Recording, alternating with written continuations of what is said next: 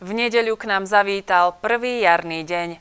Už istý čas nás ale stúpajúce teploty vzduchu príjemne hriali. V strede týždňa to celé vygraduje, nie však na dlho.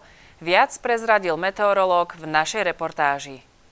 Marec je prvým jarným mesiacom, i keď jeho úvod bol chladnejší. S príchodom prvého jarného dňa však marec dobieha to, čo zameškal. V tomto týždni, ktorý sa teraz práve začína, by už maximálna denná teplota vzduchu mala v popoludnejších hodinách dosiahnuť také príjemné hodnoty, že už sa budeme môcť možno aj vonku tak trošku viac vyzlieť. Ale iba do západu slnka, pretože vtedy sa začne veľmi rýchlo ochladzovať.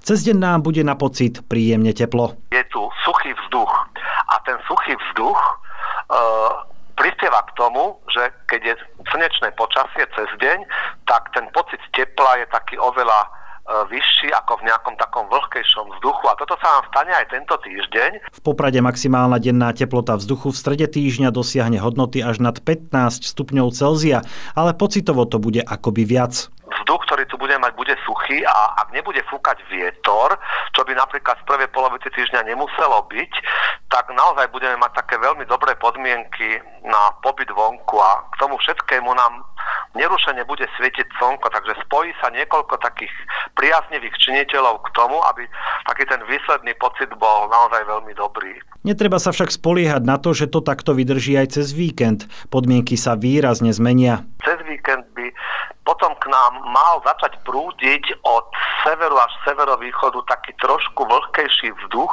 a to by mohlo potom znamenať, že na konci týždňa, ale potom aj na budúci týždeň by už mohlo byť viac oblačnosti a tam by potom už tá idylka nemohla byť taká dobrá ako teraz. Ak máte teda možnosť a slnečné lúče vám chýbali, na pobyt vonku skúste využiť najbližšie pracovné dni.